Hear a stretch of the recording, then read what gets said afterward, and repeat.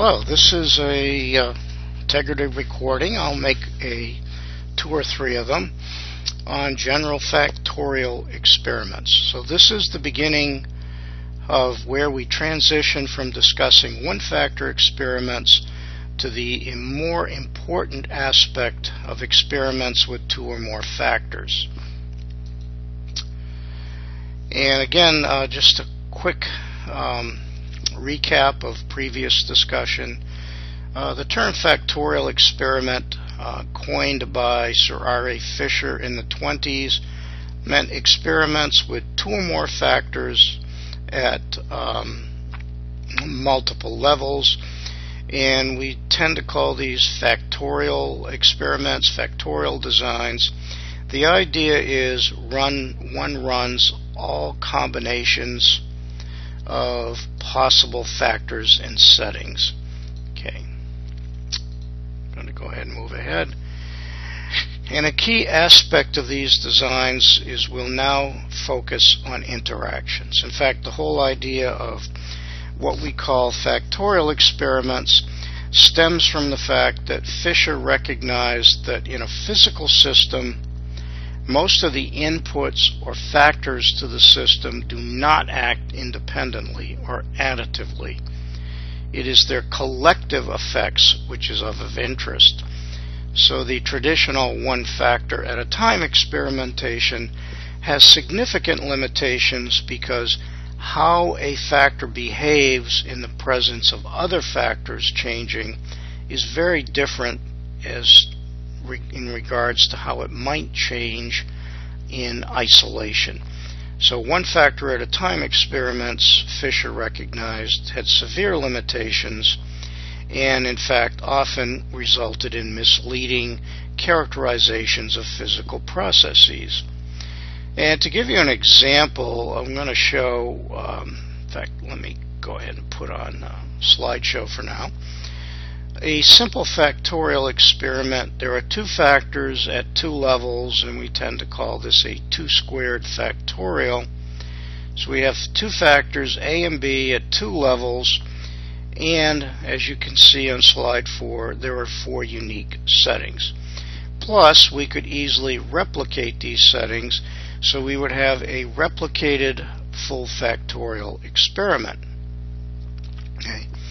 So on the next slide, and I'm taking this example from a textbook I'm not using this semester by Lentner and Bishop, but I do give credit that this is their original case study. This is an experiment to study electroplating of uh, metal objects, in this case rods. There are two factors the temperature of the bath in which the electroplating is done and the applied amperage to the parts. And there are six replicates for each of the four combinations, so there'd be a total of 24 measurements. And in the 2 by 2 table, if you'll notice, I give you in the uh, blue letters the average response. So if you take a look at this table on slide 5, if we run at low amperage, and we go from low temperature to high temperature, we go up about 0.6 micro inches of plating. The overall average is about 3.6, just the average between the low and the high. Well, what if we go to high amperage? Notice that we have an opposite effect. We go from 4.7 down to 3.1 or we lose about 1.6 microinches. But you'll notice if we look at the overall average, we'd be misled. So on average, it looks like going from low to high amperage increases thickness. But take a close look at what we call the simple effects of amperage low across temperature and amperage high across temperature. It's completely the opposite. This is what we mean by an interaction. You can't talk about amperage by itself or temperature by itself. The two factors interact uh, in the physical system to produce, uh, in our case, a measured response of thickness. Okay. So going forward in the course, we're dealing with uh, factorial experiments. These interactions are important. And give Fisher credit, he recognized that scientists were not taking interaction effects into account, and he considered it a serious problem. And his factorial designs, one of their primary reasons uh, for their um, development was to be able to estimate the interactions. Even today, there are many scientists who simply don't understand interactions and they continue to study one factor at a time in terms of a physical system. And what they don't understand is the behavior of each factor in the system is not additive. So if you study each factor one at a time, add up their effects, it typically is not even close to representative of how the physical system actually behaves. And we'll see this time and time again. So for the uh, electroplating example on slide 7, notice that we look at the size of the overall effects and notice that the amperage by temperature interaction is by far the largest effect. So, what that's telling us, if you're going to really understand the electroplating process, you must understand amp- amperage, you must understand temperature, and most important, you have to understand how they work together, how they interact. And this is the entire rationale for what we call factorial experimentation. And I illustrate this on slide 8, and if you'll notice, on the left hand side, notice I have low amperage, and at low amperage, the effect of raising temperature is positive. I go from a low to higher thickness. But look at the picture on the right. I go from, um, in other words, I move from low to high amperage, and then notice the effect of temperature is negative.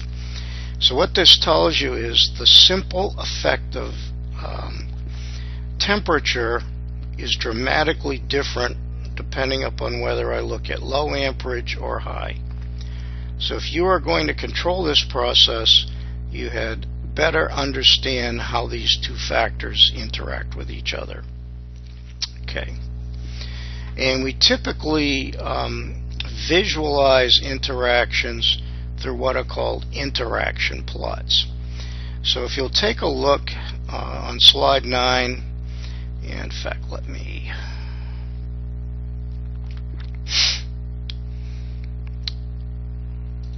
Okay. Look at the upper right hand plot. Notice the x axis, you go from low to high temperature and then there is a line for each level of amperage. So, if you're running at high amperage, then thickness goes down as you change temperature. If you're running at low amperage, thickness goes up. By the way, interactions are symmetric. Notice in the lower left hand corner, we simply reverse uh, the roles of temperature and amperage, but we see the same effect. So, frankly, for anyone really trying to understand the electroplating process, they're really going to have to understand these interactions. You can't study each factor by itself. In fact, it's futile and will lead to misunderstandings and misconceptions about what is really going on in this physical system. Okay. And I'm going to go ahead and uh, move forward. And again, I'm not going to, to look at JMP right now. Um, later on, we'll look at lots of interactions in JMP. Okay. So I'm going to move forward a little bit and talk about the issue of uh, what we call heredity. That is, when we look at interactions, the interactions have a tendency to mask the main effects, the individual or first order effects of the variables. So I'm on slide 13 and notice in the leftmost uh, drawing, okay, notice you can see there is a strong interaction because the behavior of the response over A, okay, is different depending upon whether you're running at B1 or B2. So you see in this case, the two contours or lines cross each other. Okay. So what that tells you is indeed the effect of A depends upon the setting of B. But in this case, both factor A and factor B on average would not appear to be significant, but in combination they're very important. In the middle is another type of interaction, and in this case, okay, main effect B appears significant, but main effect A does not. Why? Here's the average of A low.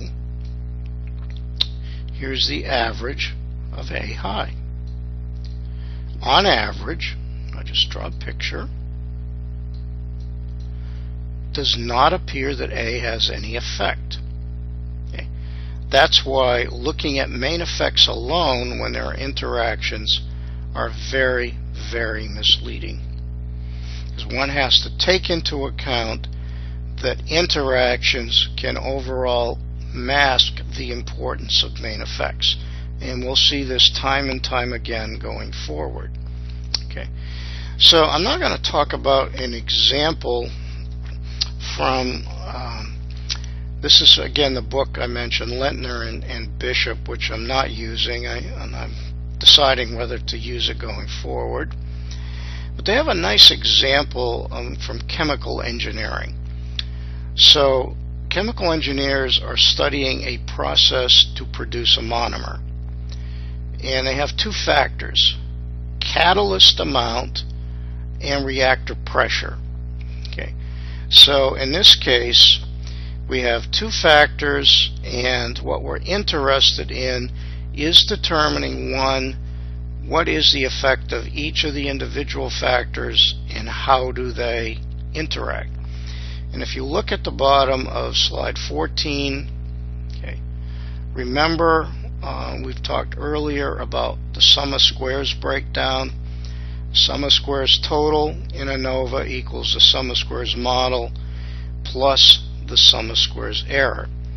What you should keep in mind at the bottom of the slide, the so-called sum of squares model, because there are two factors, now include three terms. The sum of squares for catalyst, the individual catalyst effect, the sum of squares pressure, pressure effect, and then the sum of squares of the cross product. That is, we now have to take into account the interaction. Okay. So on slide 15 is an overall table of the effects. So notice there are three levels of catalyst, four levels of pressure.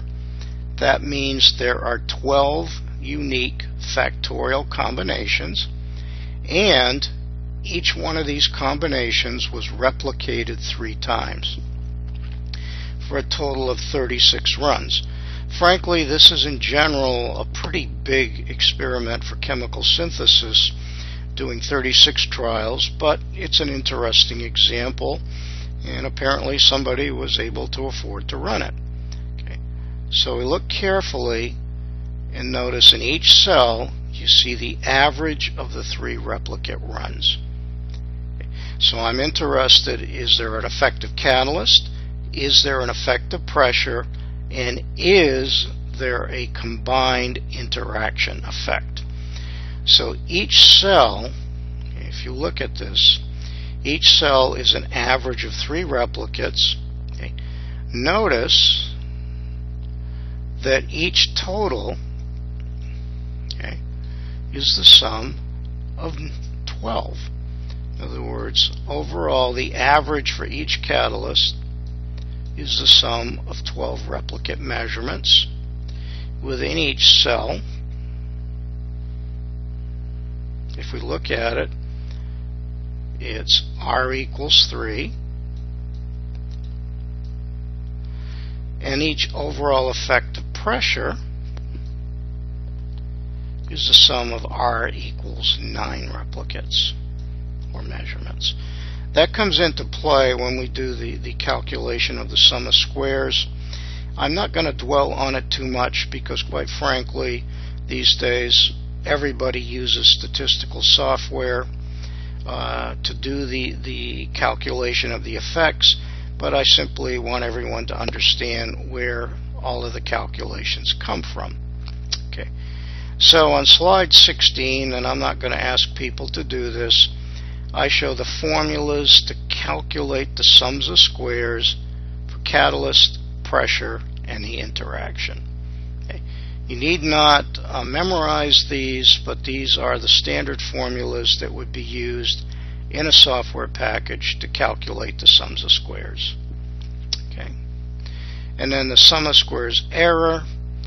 Again, this would involve a lot of tedious calculation, but typically we actually calculate it by subtraction because remember sum of squares total equals the sum of squares model plus the sum of squares error. So overall if I know any two of the three I can find the fourth. Okay.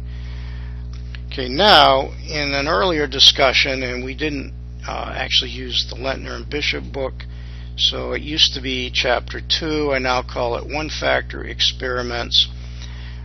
Um, we pointed out uh, an important concept, and that is for an experimental factor with A levels, whatever A may be, the total sum of the effects over all the levels equals zero.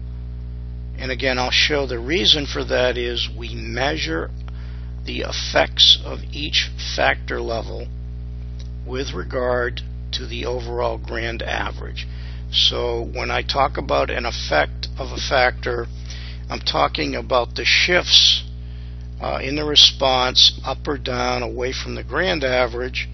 Given it's a grand average, those shifts better equal zero. Okay. So for this particular case, okay, remember there are three catalysts and there are four pressures. That means there are two degrees of freedom to estimate calculus, uh, catalyst, sorry, Freudian slip, to estimate uh, catalyst, and since there are four pressures, there are three degrees of freedom to estimate pressure. I will not repeat all of the information from um, the one factor experiment. That means for an interaction, there are 2 times 3 equals 6. In other words, the interaction effects, their in, the interactions, their degrees of freedom are just the product of the two or three factors that feed into the interaction. So what does that tell us? It says, okay, overall, we require a set of 11 and I'm going to explain this in a moment, indicator variables. In other words, there are 11 degrees of freedom to uh, estimate all the experimental effects. Okay. There are two levels of catalyst. Okay. There are three levels of pressure, and there are six degrees of freedom for interactions, or 11. So altogether, we need to estimate 11 effects. So we say there are 11 degrees of freedom to estimate uh, the overall effects of the factors. Okay. So how does JMP actually, in other statistical software, solve the problem? Well, the idea is I'm trying to build a statistical model. But in my model, since catalyst and pressure are treated as nominal, what I have are just three categories of catalyst, four categories of pressure. Well, how do you build a model? Well, traditionally, the way we've done it in statistics to actually develop a predictive model, we convert those nominal factors okay, to a set of continuous indicator variables. So on slide 19 at the bottom, you see how JMP changed the problem. So in fit model, you input that you wanted to measure catalyst, you wanted to measure pressure, you wanted to measure the interaction. JMP saw that they were nominal, and in the background it created this table with 11 columns. There are 11 things I have to estimate in my model. Okay, notice there are two catalyst variables right here. Okay. Three pressure variables. And overall, six interaction factors. So my nominal factors have now been turned into these arithmetic variables. And notice JMP's notation, catalyst A, catalyst B in parentheses, pressure with one in parentheses, and so forth. That's a signal to the user that these are uh, indicator or dummy variables created within JMP to estimate the model. Okay. And without going into too much detail, on slide 20, this is actually what the model would look like in what we call matrix form.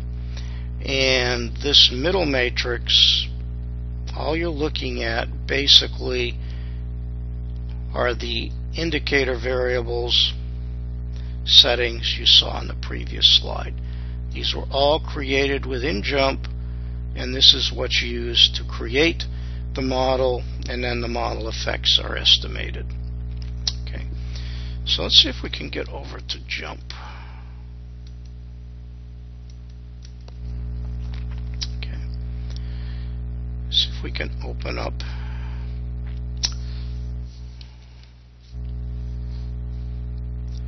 find the example that we're looking for.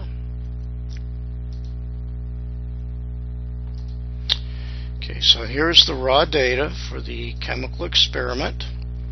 So I go to Fit Model.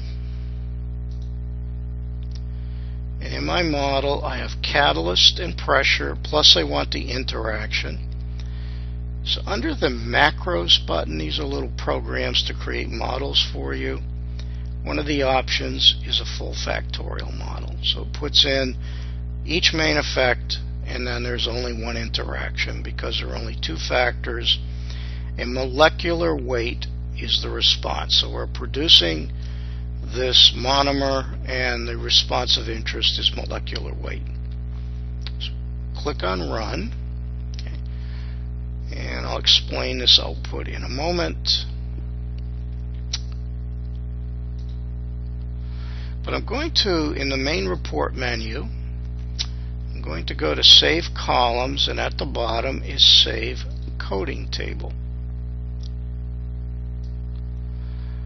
Behind the scenes, once you defined that model in Fit Model, JMP created what we're going to call uh, this model matrix or model data sheet. So in the JMP analysis, you'll see things like catalyst with A in brackets or catalyst A by pressure 1 in brackets, that's a representation of the indicator or dummy variable that JMP created in order to solve the problem and develop the predictive equation. Okay. So for catalyst A, there are three levels. I only need two indicator variables. Why? Because the overall effect of catalyst is zero. So if I know catalyst A, I know that effect, the catalyst B effect, then I don't need to see catalyst C because it's redundant. Because the, the effect of catalyst A plus the effect of catalyst B plus the effect of catalyst C equals 0. So there, I only need two indicator variables for catalyst and only three for pressure. Okay. So there, that's a total of two for catalyst, three for pressure, and guess what? That means to estimate the interaction, I need six. 2 times 3, 6 indicator variables. So behind the scenes, and again, to most users, uh, you would never look at this data table, but this is what JMP has created in the background. And this is what statistical software has been doing for decades, and what also people have had to do by hand traditionally. Okay. So we look at the results, and notice that JMP does a breakdown. So you get the sum of squares catalyst, the sum of squares pressure, and the sum of squares interaction, and you see the breakdown into degrees of freedom. Okay. Basically, this is how one analyzes an experiment using ANOVA when both of the factors are nominal. Okay. Again, keep in mind um, the fact, and this is at the bottom of slide 21, this is critical. These sum to zero constraints are the only reason we can really solve the ANOVA problem. Again, the reason these sum to zero constraints make sense, and this was Fisher's idea, we measure those effects with respect to the grand average. So given the grand average is basically the center of gravity of your data, for instance, for factor A, there are three levels. So the shifts of A up or down around the grand average have to be zero. Similarly for B and for the interactions. So altogether, there are 19 possible parameters in this model. There are three parameters for uh, catalyst. There are four parameters for pressure. And then there are a total of 12 different interaction terms for a total of 19 The good news is because we use this sum to zero constraint, that is, we measure the effects with respect to the grand average, I don't need to estimate 19 parameters, I only have to estimate 11. The other 8 are redundant based upon the sum to zero constraint. So in an ANOVA table, you wouldn't see 19 estimated effects you'd see 11 because we know that the other 8 are redundant. Okay. And I'm not, again, I'm not going to go into the weeds on these analyses. I just want you to be aware of it. So I think I'm just going to go over to JMP. And I'm going to show you what's called the parameter estimates table. Okay. So here in the estimates column are the estimated effects. Okay, the intercept plus the 11 effects. Again, there are nine more. Oh, let me see. Yep. I mean, I'm sorry. There's eight more plus the intercept. We don't estimate them. They're redundant. If you'd like to see them in JMP, if you click on the main report menu, okay, and under estimates ask for expanded estimates okay so this one shows you all of the effects and if you look carefully you'll notice the sum to zero constraints okay so just to take a look here's catalyst A B and C if you add A and B together okay C is the negative of that sum. So C is redundant, so traditionally we wouldn't even show C in the ANOVA table. Remember this notation. When you see the variable with one of its settings in the square brackets, that's a new variable JMP created, an indicator variable, and we create the set of indicator variables, and that's how we actually solve the ANOVA problem. Okay. Okay. And uh, the next few slides illustrate these calculations, and I'm not going to really worry about it. Okay. And you can also do uh, in JMP, I'll actually go to this uh, and show you you can actually do contrasts. Okay, so I'm in JMP, and you have these what are called effect details. These are additional reports for each of the terms in the model. So let's look at catalyst and pressure. So I want to do a contrast. I'm going to do least squares means and potentially do some contrast. Okay. Here's what's going on. The least squares mean, we covered this earlier, is nothing more than the average for each cell combination. So catalyst A, pressure 1, there are three replicates, the average is just 10.67. And then down below you see what is an interaction plot. The x-axis is the three, uh, four pressures, then there's a line for each level of catalyst.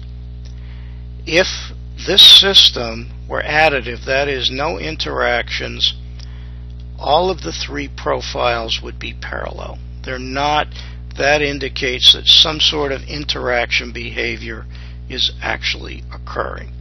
So again, when you see least squares means, it's an old term in statistics, this is your model prediction of the response okay, for uh, each of the settings of the factors.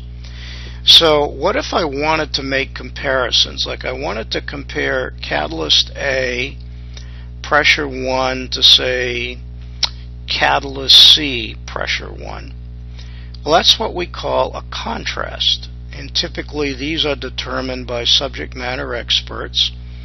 So if I click on the Catalyst by Pressure report menu, notice I can do uh, compare each pair, that is, JMP will compare all of the possible combinations using uh, t-tests and anywhere that you see red lettering it means the differences are significant.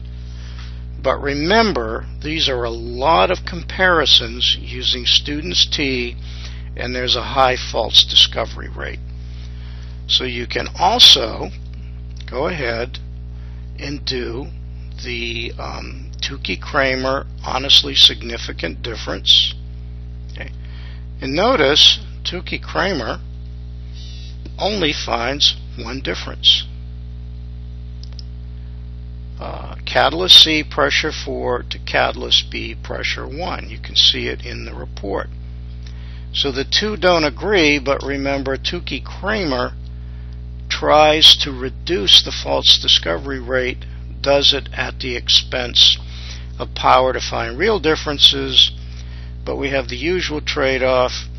The compare each pair student T procedure finds more differences. It's more powerful. Unfortunately, it finds more false discoveries.